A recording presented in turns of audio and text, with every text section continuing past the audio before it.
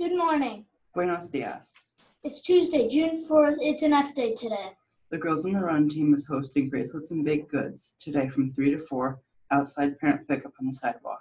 Money will be donated to a family whose house was damaged in a fire. Stop by today right after school to purchase treats and homemade items. It is time for the Reader of the Week.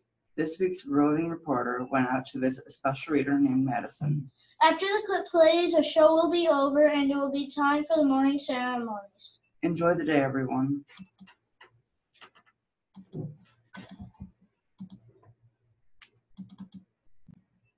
Hi, I'm Madison. I'm the reader of the week.